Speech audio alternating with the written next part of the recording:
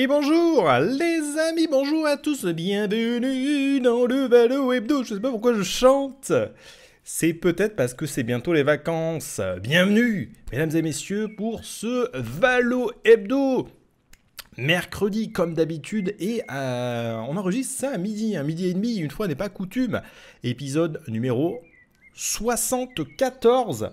C'est déjà pas mal, c'est déjà pas mal les amis. Pour ceux qui découvriraient l'émission, c'est très simple, le Valo Hebdo, eh bien c'est un format d'une heure, une heure et demie dans lequel je vous regroupe toute l'actualité de Valorant, les news, le nouveau contenu, les leaks qui va bientôt sortir, les perles de la communauté. On passe ensuite du côté international avec les recrutements, euh, les euh, circuits internationaux également. Et puis fait un petit crochet bien entendu par la scène française, la Ligue française et toutes les pépites FR que l'on adore.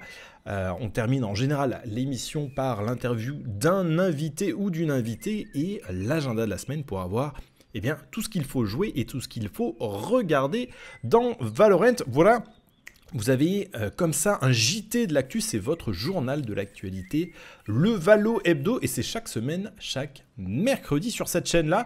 On est en direct sur Twitch, mais vous allez pouvoir retrouver l'émission, mesdames et messieurs, eh bien, euh, pour votre plus grand plaisir en podcast audio, si jamais sur iTunes, euh, Google Podcast, Spotify, Deezer, SoundCloud, Amazon Music Audible, euh, Apple Podcast également. Je crois qu'il y en a pas mal d'autres et tout est absolument gratuit du côté des podcasts. Et puis, euh, si vous voulez euh, tout simplement avoir le replay en vidéo, eh bien, c'est disponible sur YouTube. Il me semble que vous tapez exclamation VOD dans le chat pour les VOD YouTube exclamation podcast pour le podcast en audio.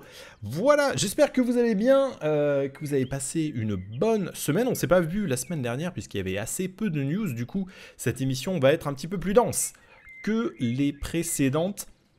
On a pas mal de petites choses. Euh, il y a quelques, quelques vidéos sympas à regarder, un petit peu de contenu également qui, je l'espère, eh va vous régaler euh, tout simplement. Voilà, je mets ça comme ça pour préparer un petit peu la régie et nous allons, euh, y aller. J'en profite pour remercier mon cher Ikaru, merci beaucoup, euh, qui eh bien, se sub à la chaîne. Ça fait combien de temps, Ikaru Déjà 8 mois, 8 mois consécutifs. Merci beaucoup mon cher Ikaru, pour le sub à la chaîne Twitch. Je vous rappelle que vous avez les replays sur Twitch également si vous êtes abonné à la chaîne.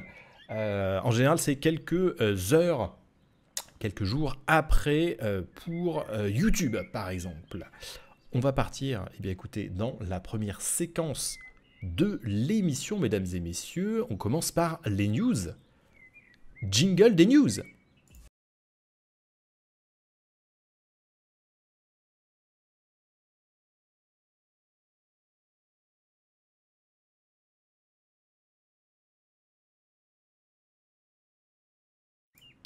Jingle des news qui se termine effectivement sous vos yeux ébahis.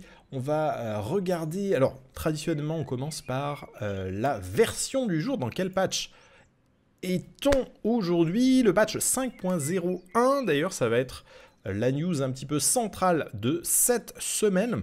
Vous allez voir ça. hop, on va faire comme si. Voilà, on enlève ça.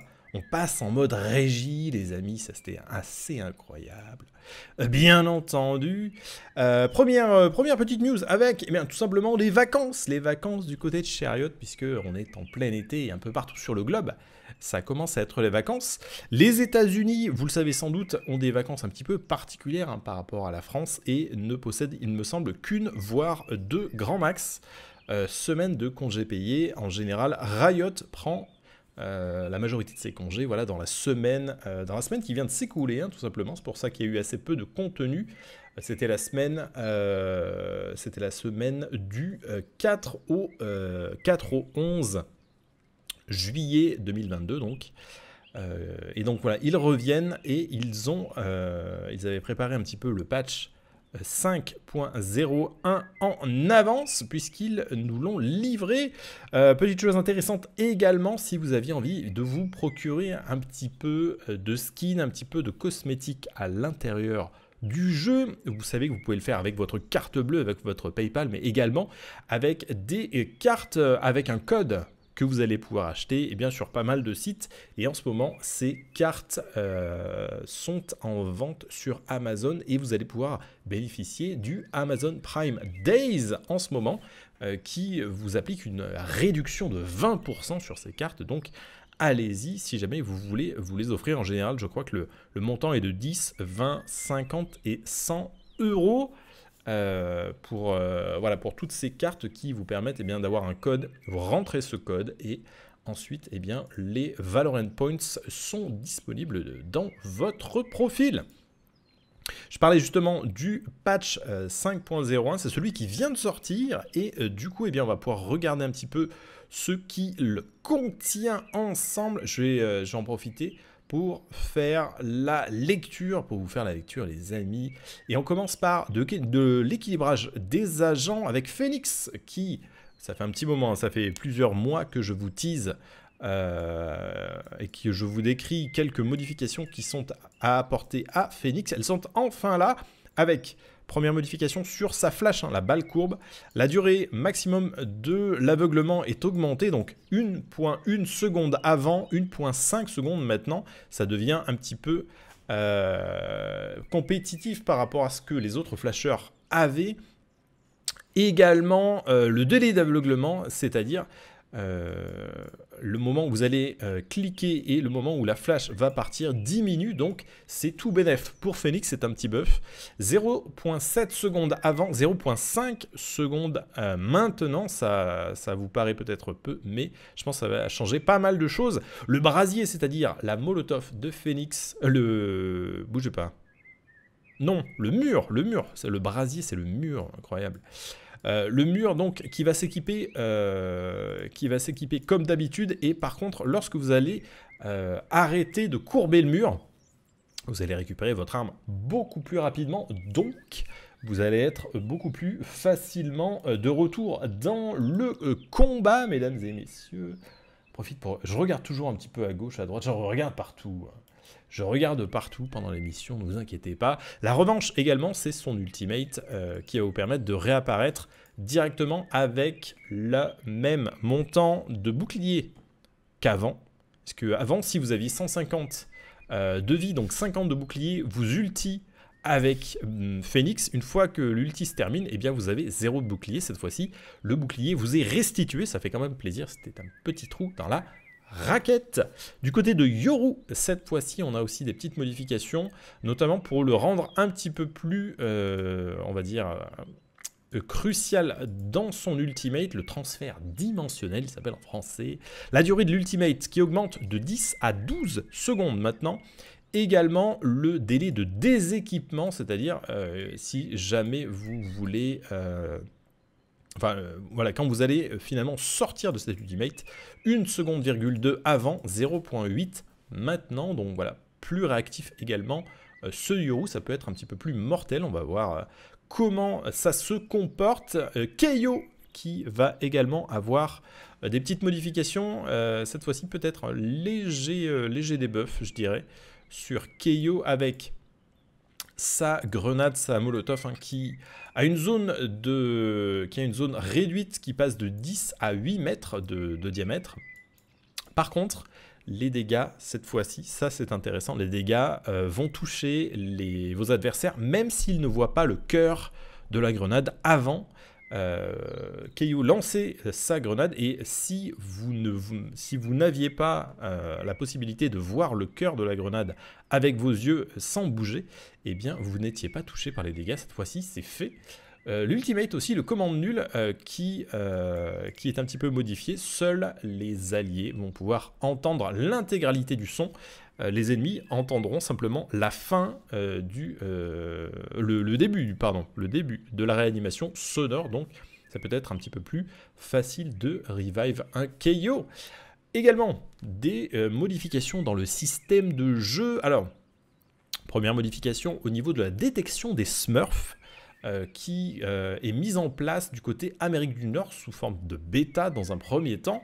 Voilà, ils vont détecter euh, les Smurfs et notamment les nouveaux comptes qui vont être un petit peu plus mise en vase clos avec d'autres nouveaux comptes. Voilà, les joueurs nouveaux vont plus jouer entre eux que euh, euh, d'autres d'autres joueurs. Bien entendu, ils testent donc ce changement en Nord-Amérique avant de le mettre un petit peu partout. La phase de test a commencé normalement depuis le 11 juillet, c'est-à-dire il y a trois jours.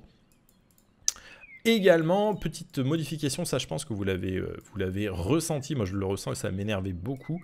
Lorsque vous courez avec votre équipe à 5 au même, euh, dans la même direction, eh bien vous avez, des, vous avez euh, le, moteur de collision qui vous fait sautiller l'écran, c'est assez désagréable. Et eh bien cette fois-ci, ça va fortement réduire ces très sautements comme ils le disent. lorsque, lorsque vous courez à plusieurs, ce qui est plutôt, qui est plutôt cool, hein, plutôt appréciable, on peut le dire. Euh, petite modification rapide dans le mode de jeu Spike Rush, les chasseurs, c'est-à-dire les deux petits loups euh, qui, euh, qui, sont un petit peu comme les, les rôdeurs de Fade ou l'Ultimate de, de, Sky, qui vont endommager maintenant les murs destructibles. Pas un très très gros, voilà, pas une très très grosse modification, mais pas de, pas de soucis. Une petite correction également au niveau, du chat euh, lorsque vous étiez en mémoire d'entrée brute. En raw euh, memory input, Yoru qui, euh, voilà, qui reçoit également des petits bug fixes, Sova et Fade également pour compléter ce patch 5.01. Donc il y a pas mal de, pas mal de, hein, contenu quand même. Hein. On va pas se le cacher, mesdames et messieurs, on va pas se le cacher. Mais voilà, on en attendait peut-être euh, peut-être d'autres choses, en tout cas ça arrivera, je pense, bientôt euh, pour la suite, peut-être dans le patch 5.02 si il a lieu. On verra ça. Pour rappel, il ne vous reste que quelques jours, sans doute une seule journée, euh, pour vous offrir le pack Prélude into Chaos, Prélude du chaos, avec voilà toutes ces magnifiques armes et cosmétiques 8100 Valorant Points pour le pack en entier. L'épée de mêlée à deux mains, 4350 et chaque arme pour 2175. Je vous rappelle qu'il y a euh, à l'intérieur une Vandale, on a un Shorty, on a euh, donc l'arme de mêlée, une, euh, un Opérateur et enfin on a la Bulldog, la, la Stinger, pardon puisque ce euh, pack va être remplacé par le pack Sarmad qui a été, euh, leaké il y a quelques heures. Euh, un pack plutôt à dominance or, vert et, orange, on va dire. Un petit peu, comme si l'Égypte antique avait un, un, pack de skins sur Valorant, et eh bien ce serait celui-ci 5100 euh, Valorant Points pour le pack, une arme de mêlée à 2550 et enfin 1275 euh, par arme. Je vous ai récupéré quelques, visuels qu'on va regarder ensemble. Voilà, on va, même euh, se mettre ça en pleine. Voici la Vandale, bien entendu. Voici la Vandale on va avoir, je pense, la euh, fantôme. Non, ça c'est l'arme de mêlée. Double arme, hein, double lame, voilà, une dans chaque main. Euh, les amis, plutôt, plutôt stylé. Vous voyez un petit peu tous les mouvements qui sont assez, euh, assez sympas, assez développés. À noter que, a priori, les armes n'ont pas, de, son particulier. On reste sur, on reste sur les effets sonores que d'habitude. Et voici donc la fantôme. Je ne pas récupérer les autres armes. Euh, sont un petit peu moins intéressantes selon moi. On va, on va y retrouver euh, notamment... Euh, hop là, on va revenir sur moi. On va y retrouver notamment... donc voilà, au-delà de l'arme de mêlée de la fantôme de la vandale, on va y retrouver une spectre un Frenzy euh, pour compléter euh, le, voilà, le pack de 5 armes. Euh, Sarmad, donc, qui sera en vente, a priori, et eh bien, à, partir de, à partir de ce soir, demain pour nous, lorsque, lorsque la boutique aura expiré. Et puis, préparez-vous également à un nouveau pack de, de, cosmétiques, de skins qui arrive, Run It Back numéro 3, le juste retour en français.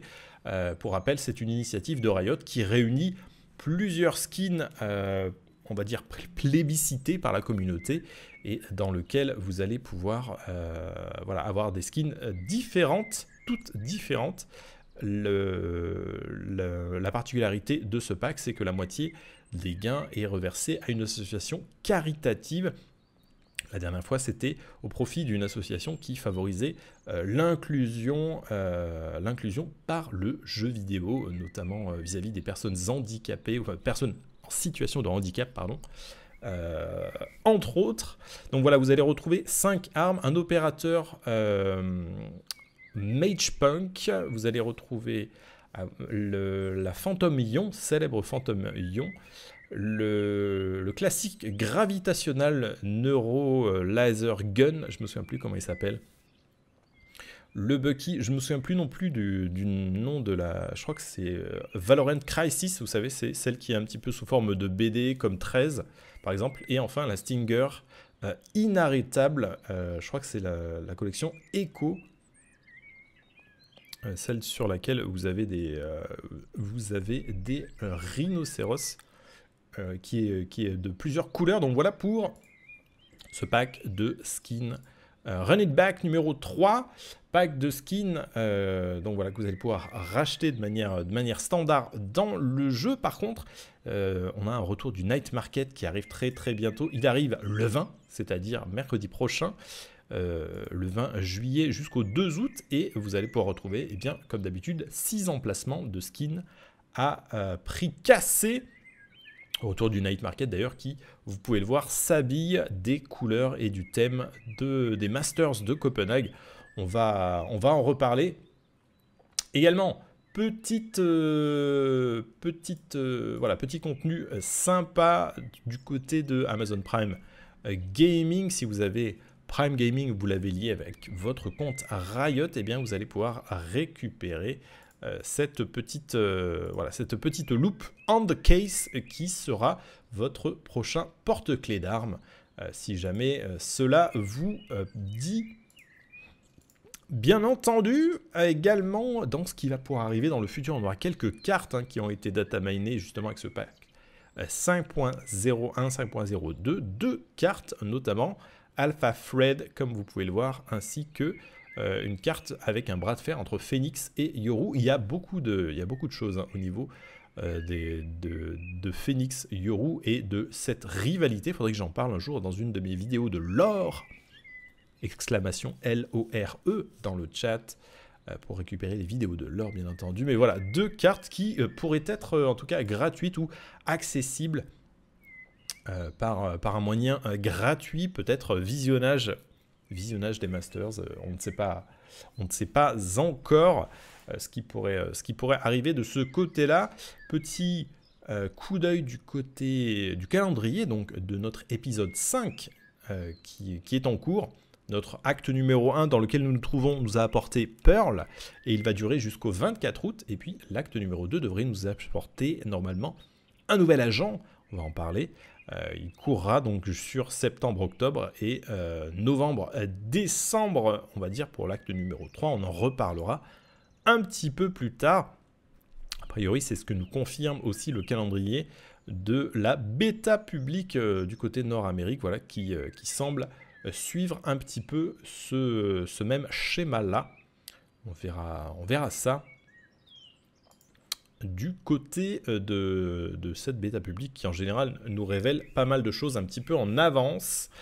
Euh, et puis des choses qui pourraient arriver euh, dans cet épisode 5, justement la sélection des agents en cascade qui permettra donc de dire au revoir à une grande partie des cœur 10 secondes de sélection par joueur avec une possibilité de présélectionner votre agent et une indication de votre main ou de vos pics en général de confort par rapport à ça.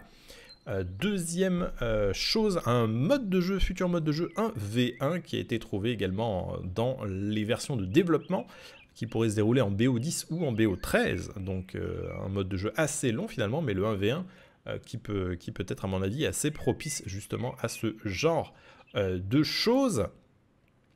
Euh, futur mode de jeu également CTF, celui-là je vous en parle depuis un petit moment, capture du drapeau, capture the flag, victoire par équipe, euh, chaque fois que vous capturez un objet, un élément neutre, vous récupérez un point de score. Euh, à voir également si ce mode de jeu un petit peu alternatif, un petit peu fun, peut faire son apparition dans Valorant, ça pourrait être, ça pourrait être très sympa. Et puis, euh, on le sait, et ça s'approche de plus en plus, euh, puisqu'on arrive à la fin de 2022, les tournois en interne, hein, tournois internes qui sont, sont, toujours en work in progress, qui vont vous permettre donc de créer votre team, d'inviter des équipes et de participer à des tournois par rank a priori une vérification d'identité sera obligatoire pour pouvoir participer. Et par contre, on a une boutique du tournoi pour pouvoir récupérer les récompenses que vous auriez euh, gagnées, des team tags également, et puis un scouting board, voilà, un board de recrutement. Et ça, c'est pour les équipes pro. Euh, on, va, en reparler dans quelques instants. Mage, ce nom ne vous dit peut-être rien, et pourtant, il s'agit du nom de code, nom de code du prochain agent, donc agent numéro 20, qui euh, devrait arriver, a priori, eh bien, aux alentours de, on l'a vu, hein, aux alentours de septembre, fin, fin août, début septembre, vu, on va dire, vu d'ici, pour la date d'arrivée de ce nouvel agent dont on ne sait encore que trop peu de choses. Et puis, euh, petit rappel également, Valorant qui arrive sur mobile à une date indéterminée, mais on a déjà vu des images de la bêta, je ne vous les remets pas cette semaine. Euh, vous pouvez les redécouvrir sur les 5 ou 6 dernières VOD euh, de l'émission Valo Hebdo.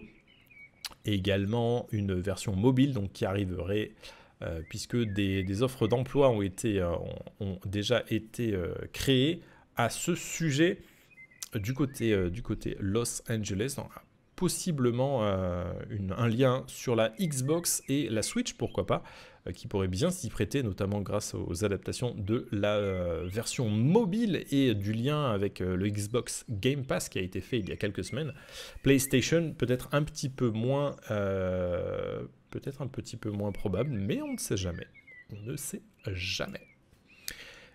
On va passer aux perles de la communauté, mesdames et messieurs, et on va se rendre. Euh, du coup, euh, hop, on va faire comme ça, on va faire comme ça. Et euh, je vais me mettre en mode régie pour bien entendu piloter un petit peu tout ça. Première, première perle de communauté, une petite vidéo tout à fait sympa avec... Mais pourquoi tu n'arrives pas à, tenir le site A, un chamber qui doit coup sur coup tuer des rôdeurs, tuer des yeux de Sky, des flashs de Sky, voilà, et qui est assailli de toutes parts. C'est vrai qu'on a beaucoup, voilà, un drone, euh, le, YAD de Fade également, le Boombot de Raze. On a quand même beaucoup, euh, beaucoup de, stuff à casser dans Valorant. C'est un petit peu, un petit peu ça le truc. Euh, incroyable, bien entendu. Deuxième, deuxième petite news très sympa cette fois-ci, c'est Nvidia, Nvidia lui-même qui vous propose de gagner ce fabuleux PC enfermé dans une caisse de Radianite Valorant.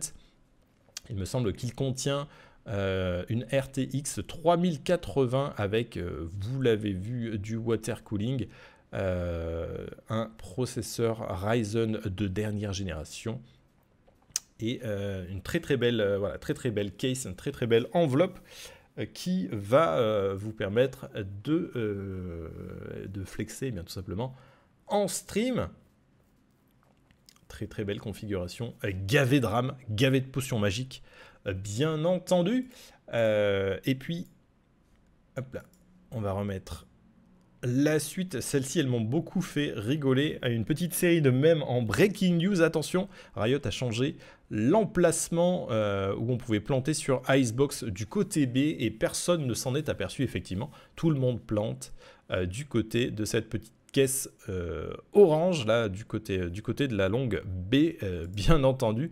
Ça m'a fait penser à ces deux autres, à ces deux autres brèves qui ont fait, attention, un oiseau local explode euh, pour faire référence au faucon de Sky qui explose, et puis un, homme explose également, et ça c'est par rapport au leurre de euh, Yoru, bien entendu.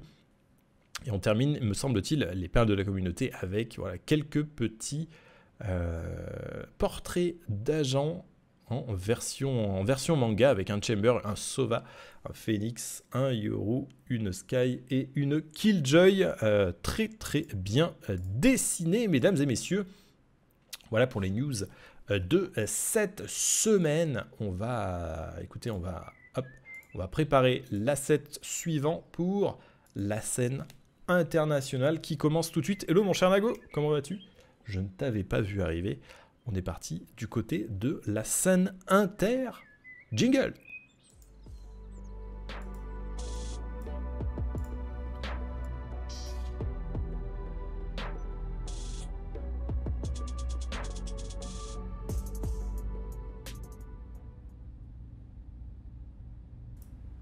impeccable scène internationale qui euh, est enclenchée, mesdames et messieurs. Voilà, on fait apparaître le cadre, bien entendu très très beau cadre. Permet de découvrir un petit peu tout ça. Et on commence euh, notre, notre scène internationale par un redit d'un euh, bug sur justement le siège de coaching qui a été euh, voilà, qui a été découvert, enfin qui a été découvert, qui a été mis au jour puisqu'il avait déjà été, il avait déjà été découvert depuis un petit moment et les, comment dire, l'ensemble des euh, concernés étaient, tous au courant, l'avait signalé a priori euh, du, côté de, du côté de chez Riot. Mais voilà, on va voir une partie standard, une partie personnalisée. Vous avez la minimap en bas de l'écran et vous allez voir que là, du point de vue de, du point de vue de l'entraîneur, donc du point de vue du coach, on va pouvoir voir des pastilles violettes apparaître sur l'écran. Effectivement, je l'avais déjà eu aussi et vous voyez, on peut voir les 5 pastilles qui nous révèlent clairement l'emplacement des différents joueurs. Ils se déplacent en plus de temps en temps, ce n'est pas, pas tout à fait automatique, mais à un rythme régulier, ils se déplacent, ces points, ils vous révèlent donc euh, la position, c'est assez, assez gênant, la position des joueurs qui évoluent au fil du temps, au fil de, de la partie, donc ce qui pose un énorme euh, problème de, dans, cette, euh, voilà, dans cette configuration, dans cette scène compétitive, d'autant plus que euh, voilà, la, grande majorité des coachs y avait déjà eu, avait déjà vu ce bug-là. On avait peut-être profité aussi, et comme le mode de replay n'existe pas sur Valorant, eh bien, il est impossible de savoir s'ils ont, si ont bénéficié de ça ou pas. News également que vous avez peut-être déjà vu sur les réseaux sociaux.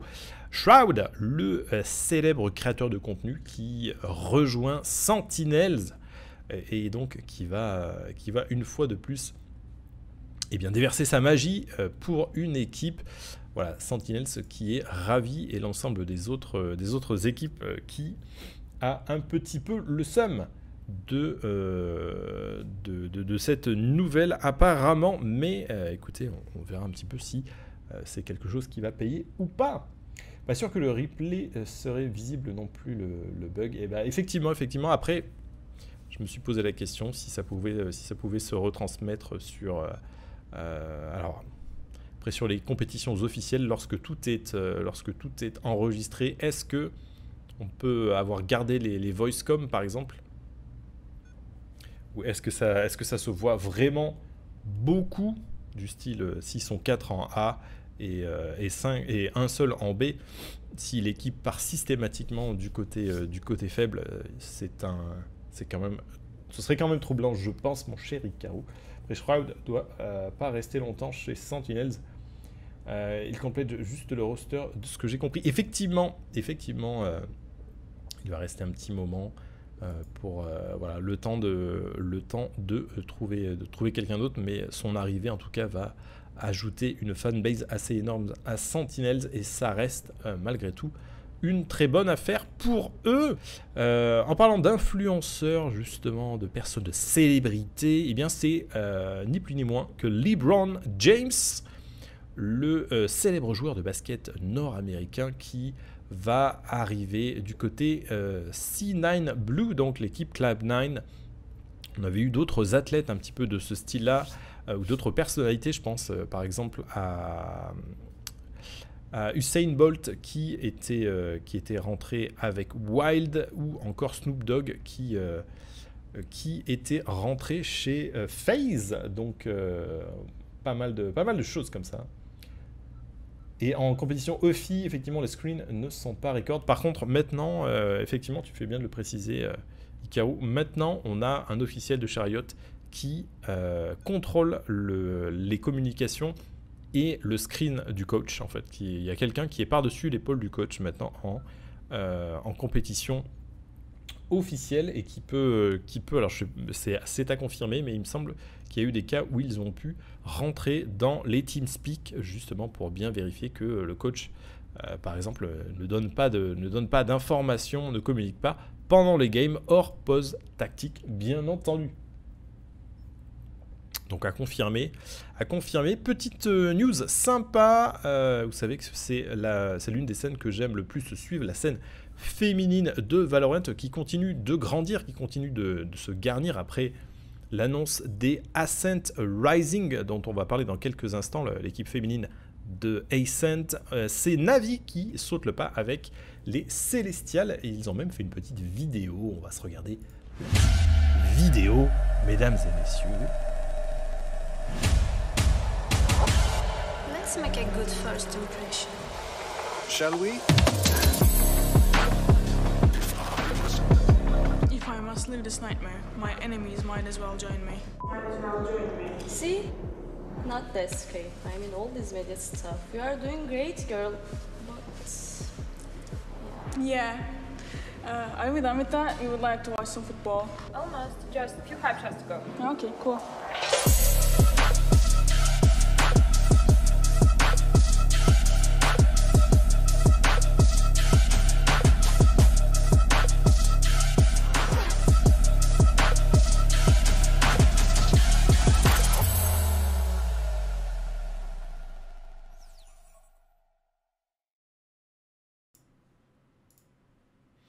Voilà, petite, euh, petite vidéo assez sympa, euh, assez, assez stylée, assez stylée, je trouve. Hop, hop, hop, hop, hop, hop, tout doux.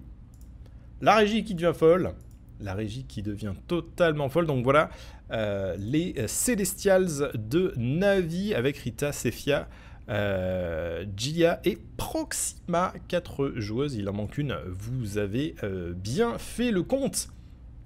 Bien entendu, on reste sur la scène féminine avec un petit retour sur les Medusa Series IMEA, l'un des, tournois féminins justement de ces dernières semaines qui a été très disputé. Euh, notamment, on avait pas mal de belles équipes qui, euh, qui y participaient. Voilà, je vous mets l'arbre des playoffs, euh, notamment avec Guild X, Ascent Rising, les 10 Star Nova, nos françaises, et puis Riggs GG Lightning avec une très très bonne performance des Guild X qui sont allés jusqu'en grande finale. Euh, les Ten Stars se font récupérer en, euh, upper finale, arrivent à, euh, et finalement n'arrivent pas à faire n'arrive pas à faire face à Ascent Rising qui ira remporter la victoire 2 à 0. Les Rix GG par contre euh, ont euh, quant à elles eu un petit peu plus de mal, même si elles ont pu atteindre les playoffs. Je suis euh, tout à fait ravi de ce résultat, car comme vous le savez, j'ai eu, le, eu le plaisir de coacher l'une des joueuses de Ascent Rising l'année dernière. Il s'agit de Samsi qui jouait en Chamber. donc voilà, Hated, Ami, Medica et Jade pour les Ascend qui récupèrent une victoire de plus. Bravo à elle. Euh, on continue justement avec la scène féminine. Euh, et on va parler des Game Changers. Donc, euh, petit rappel des Game Changers. Effectivement, très stylé. Hein. très stylé la vidéo. Je trouve qu'elle est, elle est assez cool aussi. C'est pour ça que je vous l'ai mis dans le runner de l'émission. Game Changers, donc, qui est la scène internationale professionnelle de Valorant trois étapes qualificatives dans l'année, euh, en juin, en mai qui sont déjà passées, et donc en septembre pour la prochaine. event euh, final justement qui va décider un petit peu des championnes du monde 2022 qui va regrouper la région Nord-Amérique, l'Europe, l'Amérique du Sud et, euh, également l'Asie du Sud-Est. Cet événement s'appelle les Game Changer Championships et euh, aura lieu du 15 au 20 novembre 2022 a priori à Berlin d'ailleurs et on retrouvera donc deux euh, équipes NA, une équipe brésilienne, une équipe latine-amérique, deux équipes euh, Europe et euh, Turquie CIS, une équipe d'Est-Asie et une équipe Asie-Pacifique. Donc voilà un 8, un tournoi à 8 qui devrait se dérouler à Berlin, je vous le rappelle, du 15 au 20 novembre. je croise les doigts, mais il y a un monde, il y a totalement un monde où je vais justement, eh bien, euh, récupérer quelques jours ce tournoi, au moins, pour, euh, au moins pour les phases finales, au moins pour pouvoir applaudir euh, les joueuses que j'apprécie. Petit passage maintenant du côté des Valorant Champions Tour, le VCT, avec voilà, un petit clin d'œil comme d'habitude sur le calendrier. Nous sommes à mi-juillet à l'heure où j'enregistre cette émission et nous sommes en plein Masters. On va en parler dans quelques instants. Je vous rappelle que en août se déroulera le tournoi de la dernière chance, le Last Chance Qualifier, qui permettra à toutes les équipes qui n'ont pas eu encore euh, le, nombre de points euh, suffisants pour atteindre les champions, de peut-être voilà, tenter le coup de jarnac et euh, passer dans les champions. Champions qui se dérouleront euh, durant septembre, je vous le rappelle. Euh, on n'a pas encore la, de date précise par rapport à ça, peut-être que si.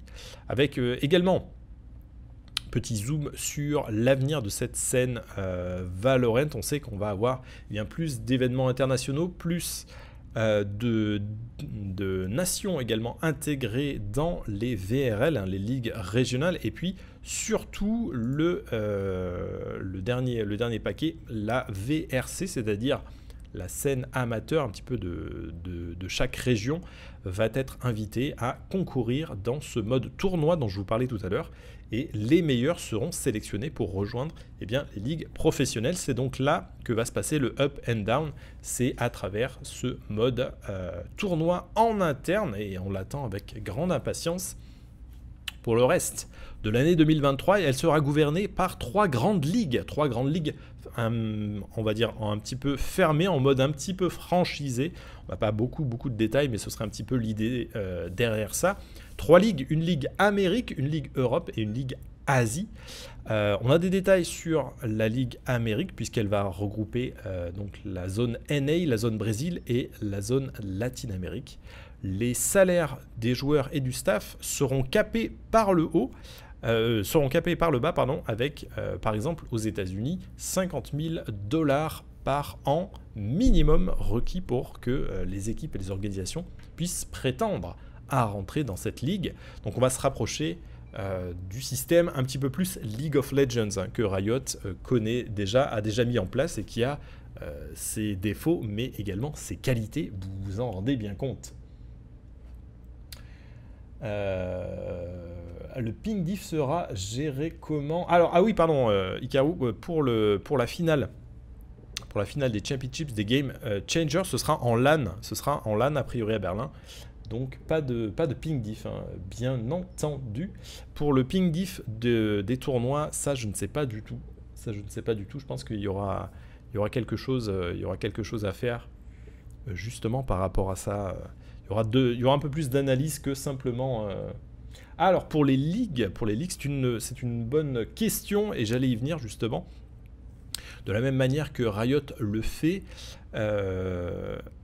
euh, les, équipes vont être invitées à créer ou à adopter un siège, on va dire un siège social, euh, en tout cas un siège de jeu euh, dans un endroit assez, dans un endroit précis. Par exemple, pour League of Legends, toute la LEC, donc la Ligue européenne, si je ne me trompe pas, euh, s'est installé à des bureaux à Berlin. Donc l'ensemble des équipes ont des, euh, ont des gaming house euh, sur Berlin et jouent avec le ping, on va dire, relativement, relativement équivalent de Berlin. Là, ce serait la même chose du côté Nord-Amérique, enfin du côté zone Amérique, le Riot demanderait à toutes les équipes, donc américaines, canadiennes, euh, brésiliennes et, euh, et d'Amérique latine, Argentine par exemple, etc., de se rendre aux États-Unis et d'installer leurs locaux là-bas pour pouvoir jouer. Ce serait ça, la, ce serait ça la, le, requirement, le- les, prérequis de Riot. Il y a aussi pas mal d'éléments financiers et d'éléments stratégiques qui sont récupérés, notamment par rapport au marketing, notamment par rapport au contenu, aux créations de contenu euh, que euh, Riot pourrait, euh, voilà, que Riot pourrait demander. Il faut que le jeu soit mis en avant, il faut que le marketing soit bien calé pour que eh bien, toutes les structures, toutes les organisations qui sont choisies par Riot puissent euh, avoir un avenir serein, un avenir solide, notamment financièrement, vous l'avez compris. Euh, on n'exclut pas, par contre, et ça, ça pourrait être assez sympa, la collaboration de Riot avec ces fameuses grandes organisations pour la création de contenu in-game, des cartes, des gun buddy, pourquoi pas des packs de skins, des skins d'agents dans le futur. On ne sait jamais avec voilà des maillots, par exemple, euh, avoir, euh, avoir un brimstone, avoir euh, une fade avec le maillot de votre équipe favorite, ce serait quand même plutôt stylé, vous l'avez compris. Donc encore assez peu de détails par rapport à ces ligues euh, mondiales, à ces ligues franchisées, ces ligues fermées sur 2023, mais c'est un petit peu cette direction-là qui est prise. Dès que dès qu'on aura un petit peu plus de, détails, je vous le donnerai. Priori, on se situerait entre 8 et euh, 12 équipes pour chaque ligue. Euh, donc ça va être assez fermé dans un premier temps. Euh, je, tiens l'information de Coco. Normalement, j'essaierai de, j'essaierai de récupérer un petit peu plus d'infos de ce côté-là. On verra ce qu'il en est du côté de ces ligues.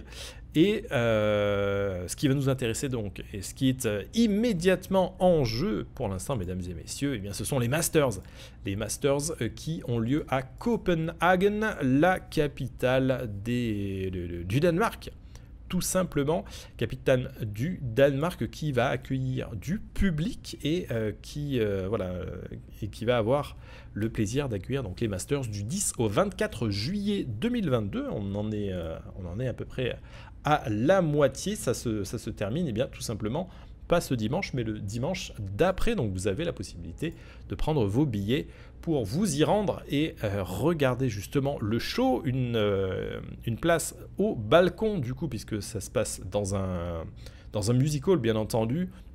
Une place au balcon euh, vous coûterait 25 dollars environ et une place dans la fosse, donc un peu plus proche de la scène, euh, se euh, monnaie 35 dollars a priori, à confirmer, hein, mais ce sont, les, tarifs que j'ai pu récupérer. Euh, donc voilà, plutôt, plutôt sympa. L'ensemble des équipes, justement, euh, des, des 12 équipes, se sont rendues à Berlin, euh, se sont rendues à Copenhague. Bon sang, petit lapsus. Et on a même une très très belle vidéo que euh, je ne me lasse pas de regarder. Je vous propose de regarder avec moi en plein écran les euh, false idols, les faux dieux euh, qui nous sont proposés ici pour habiller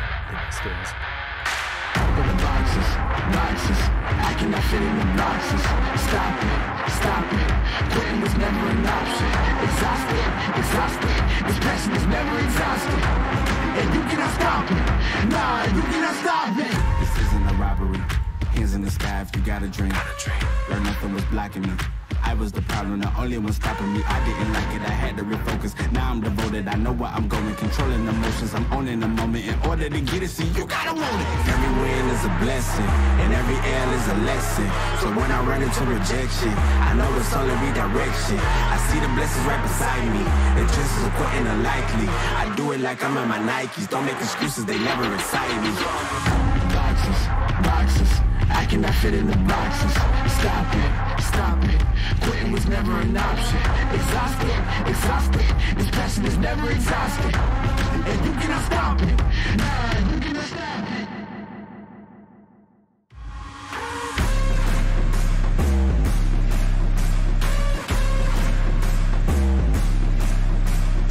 Voilà donc les Masters de Copenhague qui euh, Bien entendu, nous parlons. On va regarder d'ailleurs un petit peu là où on en est avec euh, plusieurs, équipes qui étaient invitées dans le groupe A, puisque les, équipes se sont euh, organisées en groupe. On avait Optic Gaming, euh, Guild, eSport, Loud et Cru. Malheureusement, les Loud se sont fait battre par les Cru et par les Optiques en loser bracket. Ils sont donc éliminés aujourd'hui. Euh, Guild qui a fait une très très bonne euh, prestation qui est euh, allé se qualifier justement dans ce groupe A. ils ont battu les crus et les crus donc qui vont rencontrer aujourd'hui même les Optic Gamings pour la place justement de qualifier. Ce sera le match de qualification. Groupe B, on avait FPX, Xerxia, donc les anciens X10, DRX du côté de la Corée et Northampton du côté du Japon. Et ce sont les Xerxia qui se sont fait éliminer euh, dans un premier temps par FPX, puis Northampton en loser bracket. Euh, FPX s'est incliné de justesse 2 à 1 à 2 du coup face à DRX qui se qualifie, les Coréens donc qualifiés. Et donc pour récupérer le deuxième qualifié du groupe B, euh, c'est FPX contre Northampton qui aura lieu ce soir également sur les chaînes officielles et la chaîne de la League. Je vous en reparlerai à la fin de l'émission. Notez bien que pour ces, euh, pour ces Masters de Copenhague, plusieurs watch parties sont autorisées. Vous allez pouvoir retrouver d'ailleurs sur la liste, merci Coco pour, pour la liste, avec Hazel, Chipset, Fatih, CAF, euh, Kellogg's, PM, Twix, euh, XMS, Zeish et enfin Zerator. voilà pour l'ensemble des chaînes euh, française et francophone que vous allez pouvoir récupérer pour avoir une watch party de ces Masters. Euh, mais ouais, la Corée, la Corée plutôt chaude, effectivement, Nago. Euh, la Corée, toujours, toujours dans le top 3, hein, était top 3 des Champions. Avec les Japonais top 4 d'ailleurs. donc ouais, ouais, ça s'est bien débrouillé. Ils se, sont, ils se sont bien régalés, les Coréens, jusqu'à présent. ils ont montré un très très beau visage face au FPX qu'on on euh, a l'habitude de voir choke un petit peu euh, dans, les, voilà, dans les matchs à enjeu comme ceci. Les Champions également en septembre qui euh, auront du public du public qui devra se rendre jusqu'à Istanbul, capitale économique de la Turquie, puisque c'est Ankara. Vous avez appris quelque chose, ne me remerciez pas. du 2 au 18 septembre 2022, avec là encore des places à acheter, mais euh, dont on n'a pas encore les, voilà, pas encore le tarif. Je pense que ce sera sensiblement équivalent, voire un petit peu plus. Donc, on pourrait se situer peut-être aux alentours des 50 dollars pour une place. Euh, à voir, à voir ça. Et puis, euh, petit coup d'œil cette fois-ci, puisque là, nous sommes dans les instances internationales. Du côté EMEA, ce sera bientôt les, les VRL Finals, puisque chaque ligue régional a élu son champion pour, euh, pour notre ligue à nous. On va le voir dans quelques instants, mais il s'agit de euh, Vitality. On a les footballistes, on a les 10 stars euh, également, Case, Angry Titans. On va retrouver les XL et le dernier, je ne me souviens jamais. Tiens, je vous les mets en grand, je vous les mets en grand, mesdames et messieurs comme ça, vous pouvez les voir. Et euh, ce sont les Falcons pour euh, l'Arabie Saoudite, la zone MENA. Euh, donc voilà pour ces VRL Finals qui auront lieu du 25 juillet au 8 août. Le, il me semble que on a un vainqueur. Attendez, c'est un vainqueur. Il semble que c'est deux vainqueurs. Le top 2 monte justement en Challengers. Le bottom 2 des Challengers descend. Euh, voilà, c'est comme ça que ça se passe. C'est comme ça que ça se passe. C'est top 2 et bottom 2. Donc on a 7 belles, euh, belles équipes. Et pourquoi pas 8, me demanderez-vous? Eh bien, c'est tout simplement parce que euh, la zone CIS, la VRL CIS, est exclue pour l'instant de, participation au VRL Finals et etc. par rapport au conflit russo-ukrainien qui continue d'avoir lieu sur notre planète.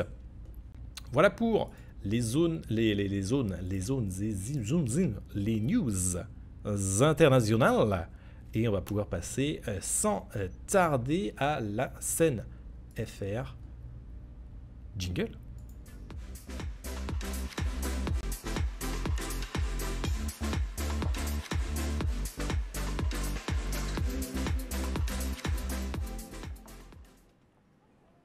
Scène FR jingle euh, se présente maintenant. Voilà, impeccable.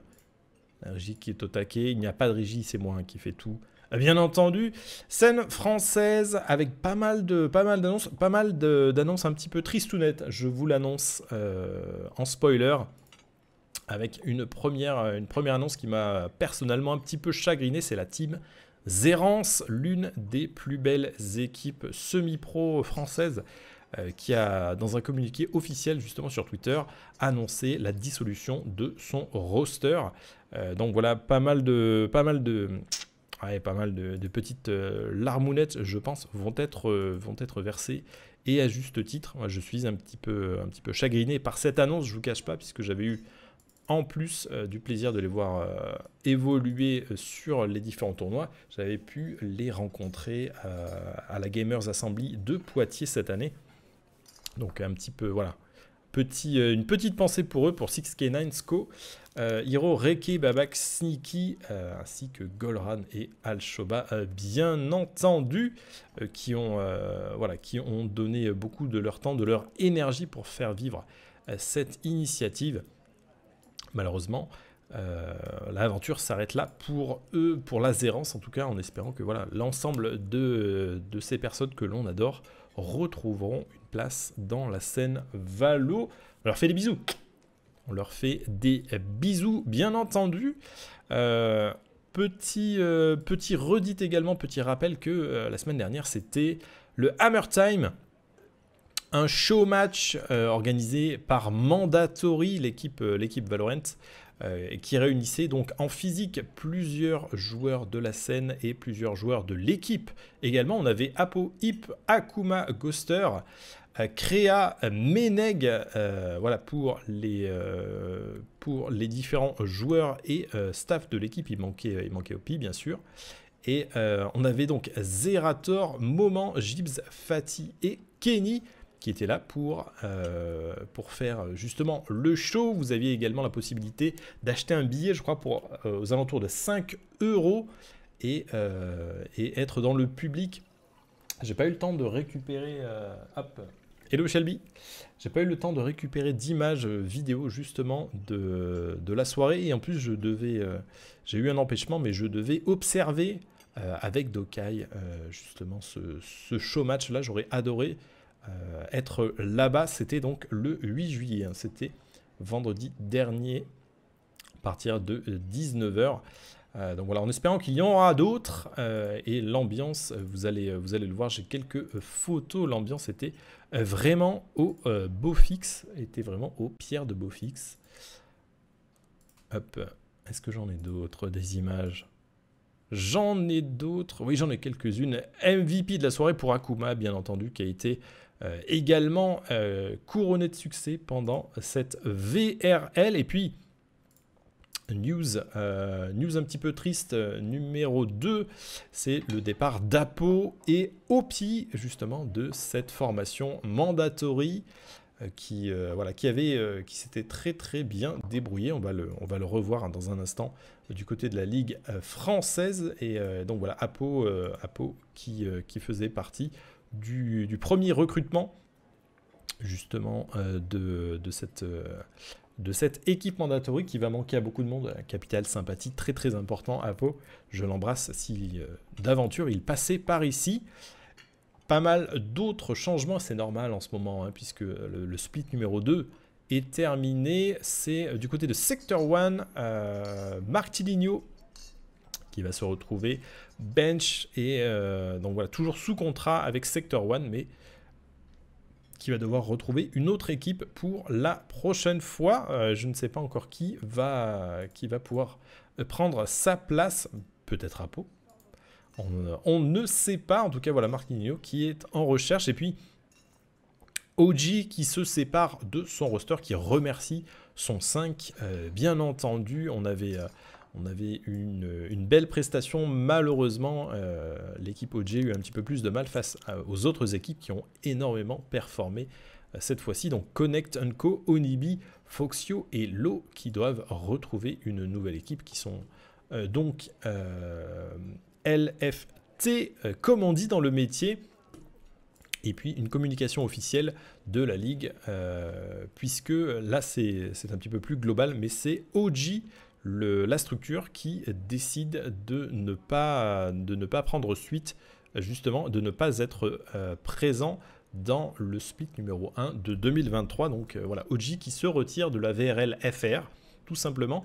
Les joueurs, par contre, Unco, Foxio, Onibi, euh, notamment, qui sont les trois derniers, à, le, le corps 3, euh, vont avoir la possibilité, s'ils le souhaitent, de rester et euh, de défendre leur, euh, leur position justement dans le tournoi de relégation, euh, le fameux Up and Down dont on va parler dans quelques instants justement. Et ils ont donc jusqu'au 11 août, donc dans un petit peu moins d'un mois, pour faire savoir à la VRL, à Freaks for You et à Riot le roster complet, donc les deux autres joueurs avec qui ils joueront pour défendre leur, leur place, en tout cas le, le slot des anciens OG euh, n'est pas voilà n'est pas n'est pas mise à la poubelle. Voilà un petit peu le voilà un petit peu ce constat là et justement eh bien on va on va parler un petit peu de cette euh. HF à l'ancien teammate ouais.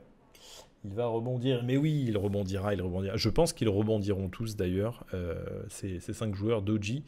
Euh, ils, ont, euh, ils ont déjà eu plusieurs passages justement dans, dans plusieurs, euh, voilà, plusieurs équipes, plusieurs structures. Également, je ne m'en fais pas du tout pour eux. Et, euh, je sais que ça va bien se passer. C'est simplement, voilà, fin de split. On, rebat un petit peu les cartes et on essaye de, on essaye de trouver de, nouvelles solutions. À savoir également que OG, en tout cas la partie FR que l'on connaissait, euh, faisait partie de la grande maison OG London United qui s'était euh, voilà, qui s'était rassemblée cette fois-ci euh, à l'échelle européenne et donc ils avaient deux rosters, un London United OG et l'autre OG tout seul. C'est peut-être aussi ce qui a amené, euh, en plus des, résultats un petit peu euh, laissant à désirer, c'est peut-être ce qui a amené euh, justement eh bien, voilà, la, la structure OG à se débarrasser de ce roster-là, malheureusement. On va parler un petit peu de cette VRL FR notamment et de la fin du split 2 des playoffs. Du split 2 euh, jingle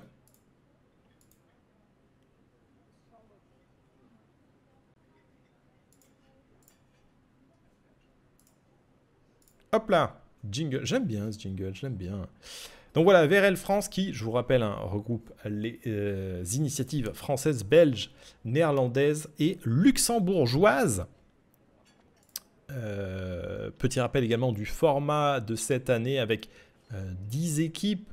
OG, Mandatory, euh, BDS, Wild, Mad Lions, euh, Vitality, Biginus, Sector 1, VMS et Carmine Corp.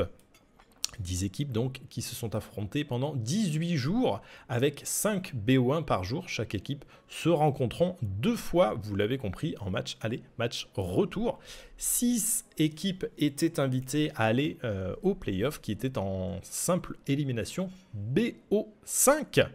Euh, on avait euh, plusieurs, euh, voilà, plusieurs matchs et on commençait. Je vais aller directement sur le bracket, voilà, ce sera plus simple. Mesdames et messieurs, plus simple, on commençait avec le, match euh, Mandatory euh, BDS. Le vainqueur allait rencontrer justement euh, Mad Lions.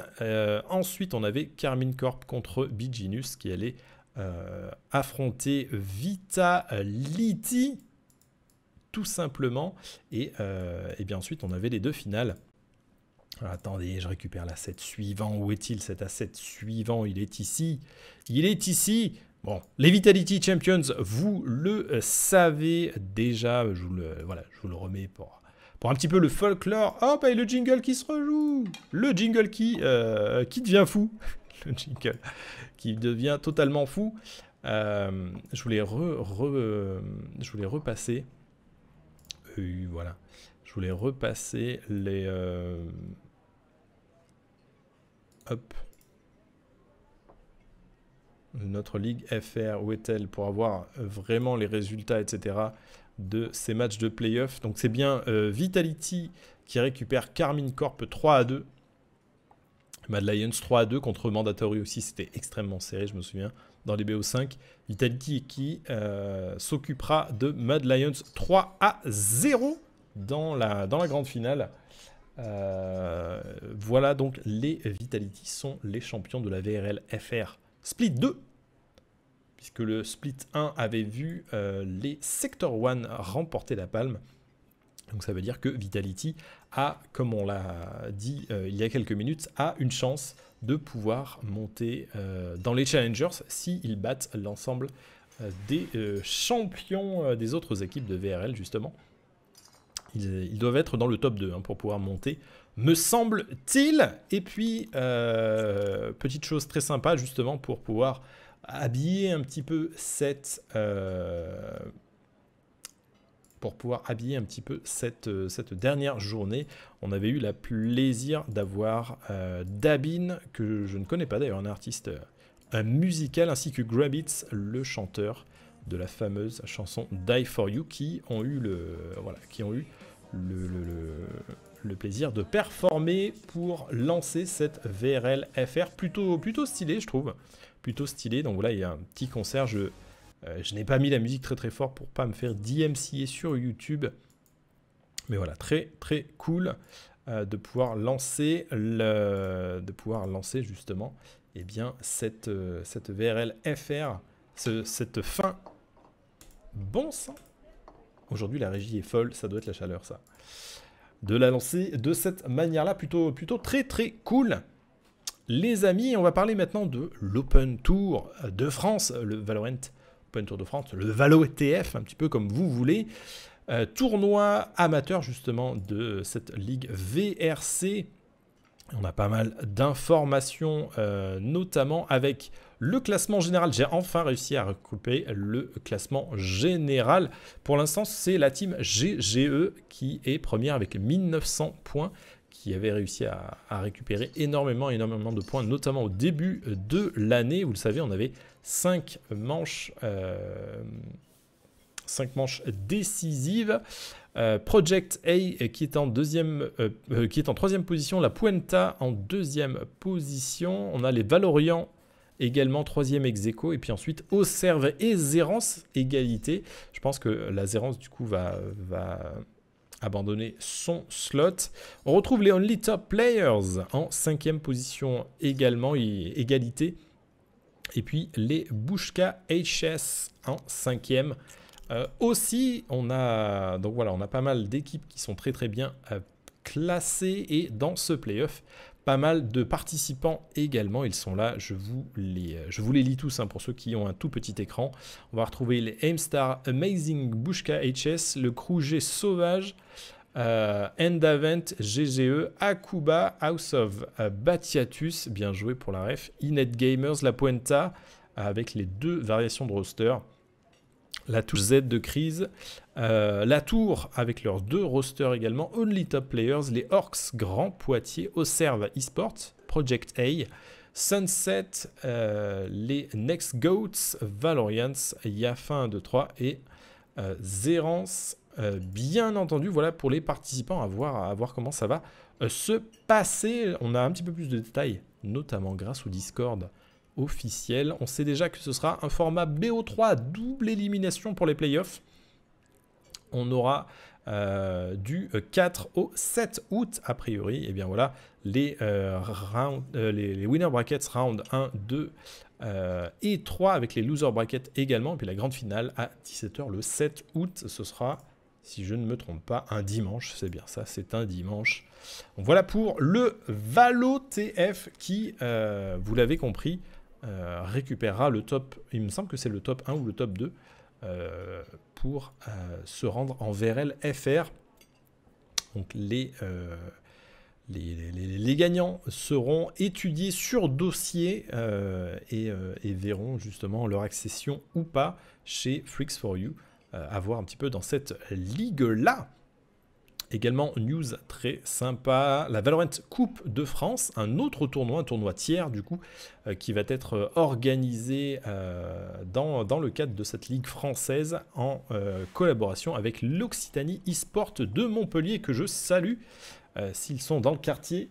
Donc voilà un autre tournoi en LAN qui aura lieu, celui-ci un petit peu plus tard dans l'année du 27 au, du 27 octobre au 11 décembre. Voilà pour la durée des qualifications et euh, la, finale qui aura lieu le 11 décembre.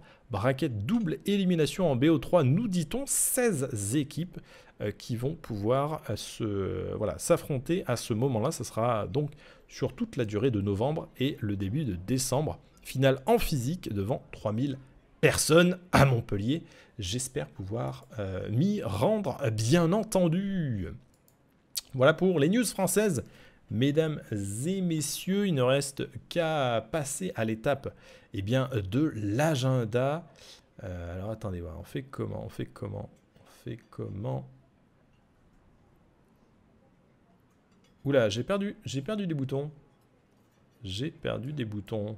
Ah non, ils sont là. Les boutons sont là, c'est bon. C'est bon, c'est bon. J'ai j'ai eu peur, je me dis, dis non, l'OBS, il est plus comme d'habitude là. Il est plus comme d'habitude. On est parti, euh, les amis, du côté de l'agenda de la semaine. Jiggle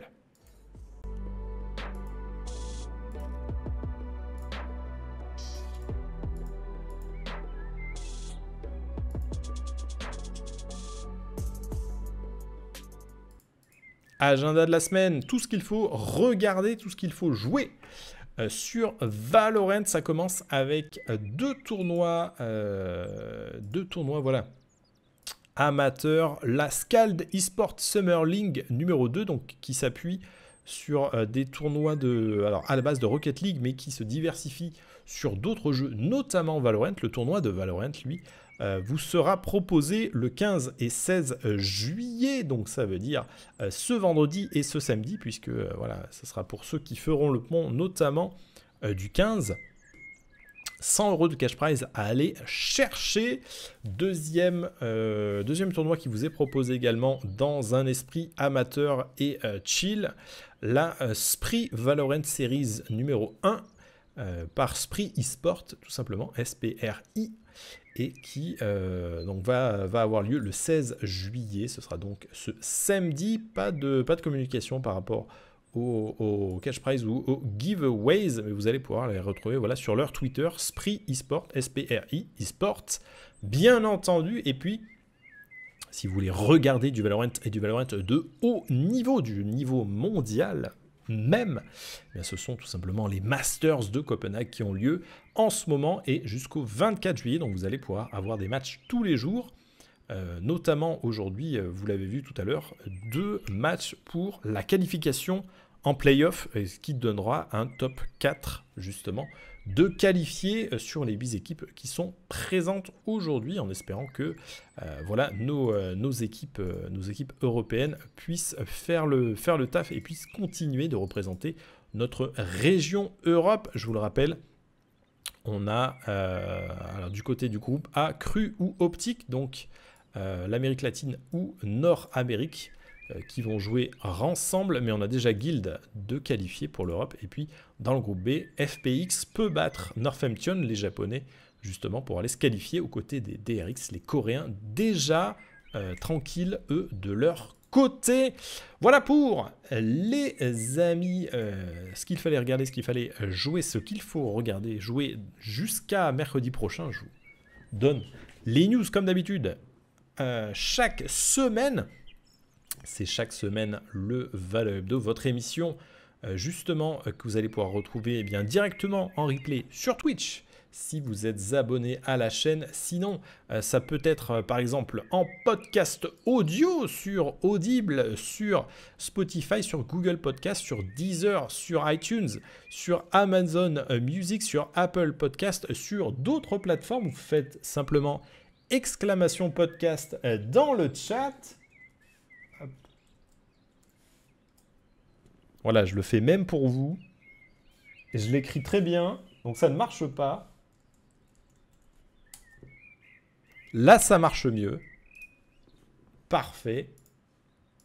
Et si jamais euh, vous voulez avoir le replay vidéo, ce sera sur YouTube. euh, et ce sera normalement dans quelques jours, a priori. À partir de dimanche, vous aurez le replay. Euh, exclamation VOD dans le chat. Allez, je vous le fais, je vous le fais.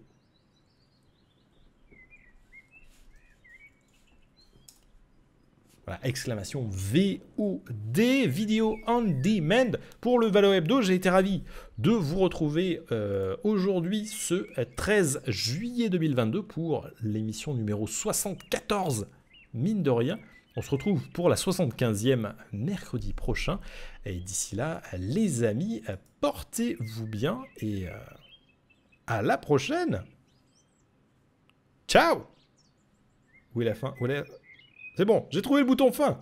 Ciao